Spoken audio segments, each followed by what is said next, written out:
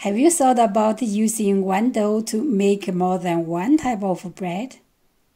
I will show you three variants by using one dough in this video. You will find the text of my audio in the description area below the video. The first bread is the homemade pineapple souffle bread. You will find the basic ingredients of the dough for the three kinds of bread here. You can also find them in the description area below.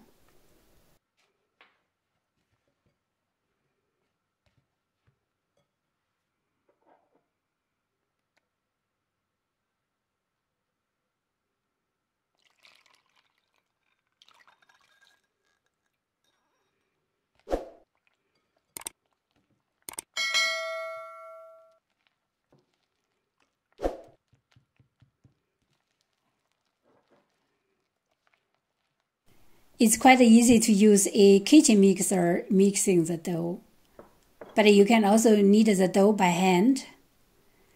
I can still remember my mom kneaded the dough by hand when I was a child. For me, it was uh, quite interesting to see how my mom worked hardly with the dough while feeling very happy because we will have fresh bread shortly.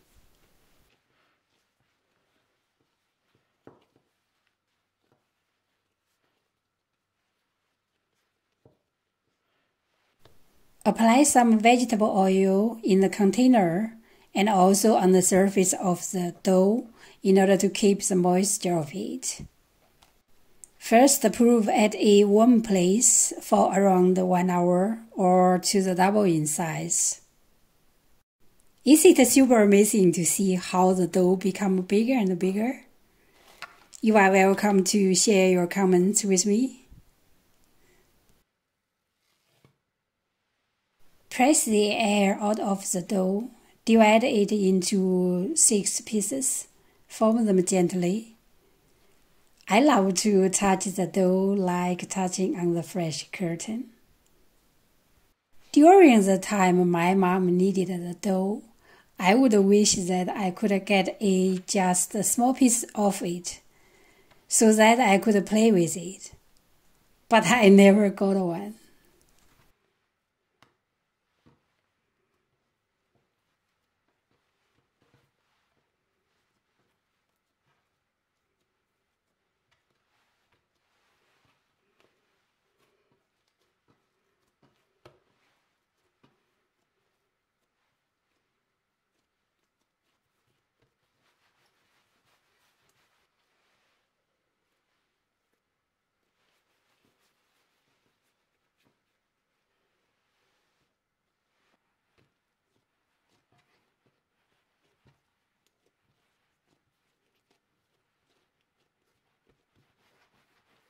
Rest for around 10 to 15 minutes.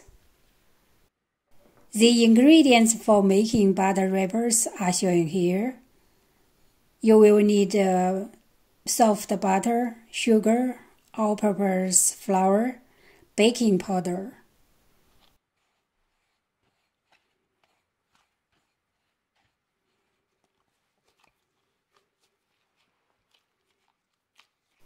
Divide the butter dough into six parts for the later use. For the glazing, we need uh, two yolks and some milk.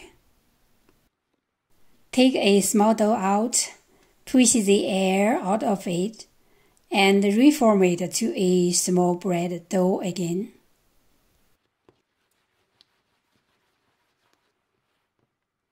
Apply a piece of uh, plastic film Put a butter dough onto it, using a rolling pin to roll out the small dough to a thin slice.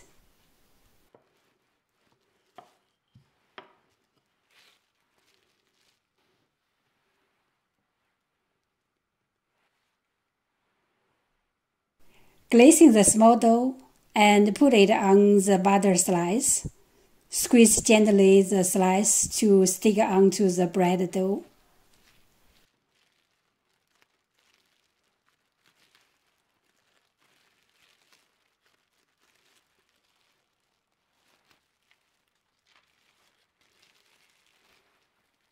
Let's see one more time how we should form the bread dough with butter wrapper.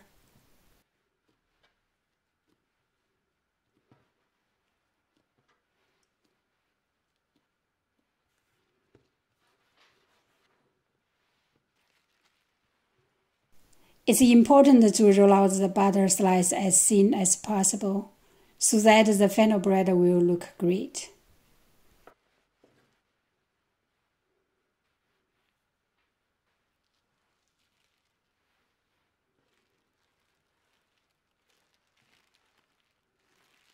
Put the bread dough in a warm place for the second proof for around one hour or to the double in size.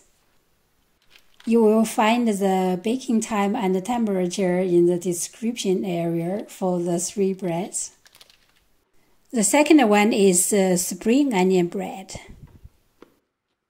I will make three breads using this dough, as I should braid the dough later on, so I will need uh, nine small parts.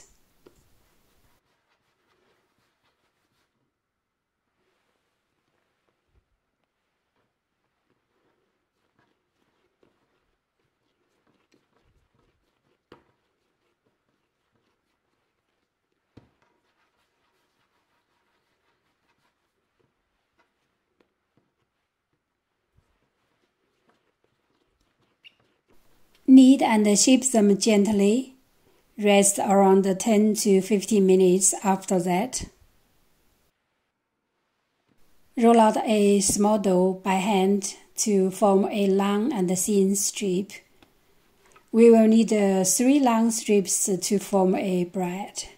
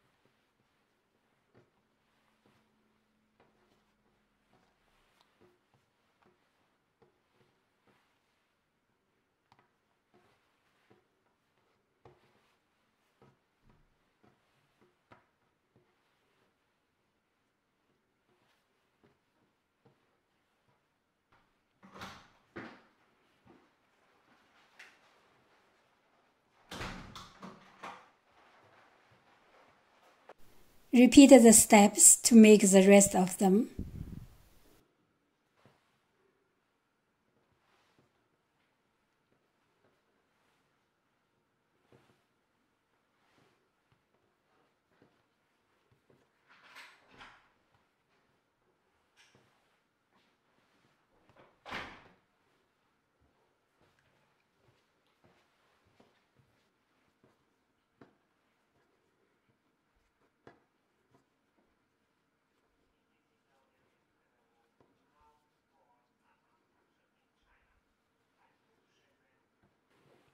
Put the bread dough in a warm place for second uh, proof for one hour or to the double in size.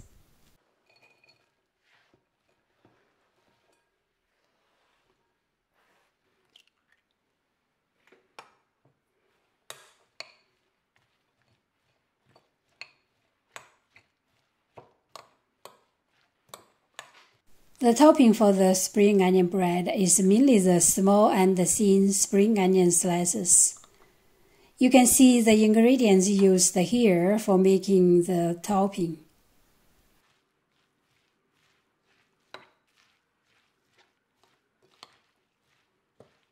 Divide the onion slices into three parts to put on top of the bread evenly later on. Before putting the onion slices, Remember to glaze the breads first.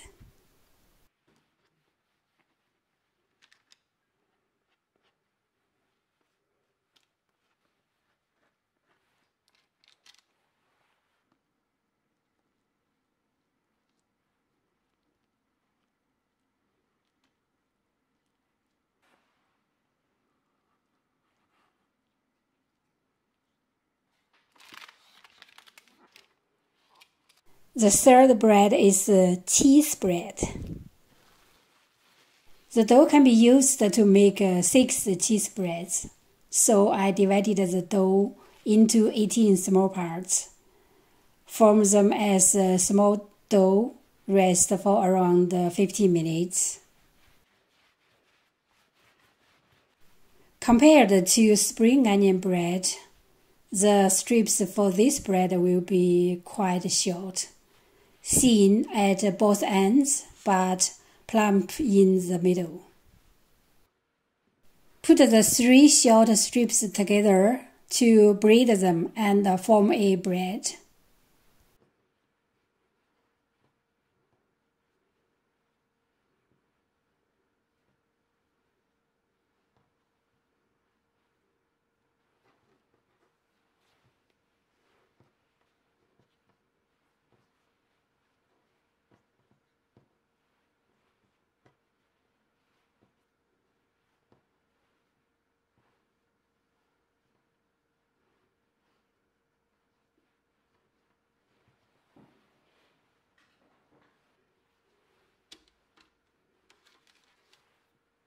Let's see one more time.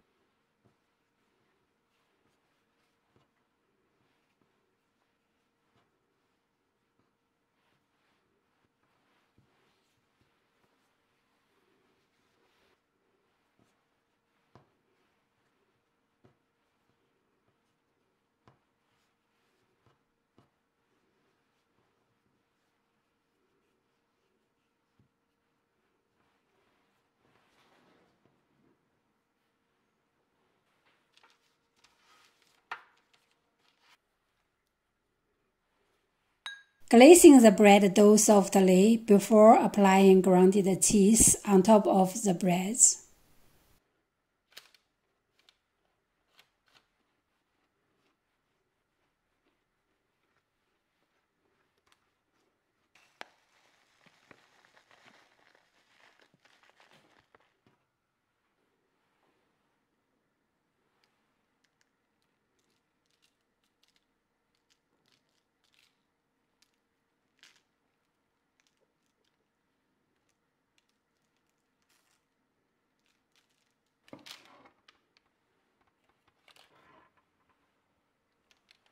The smell of this bread is quite great.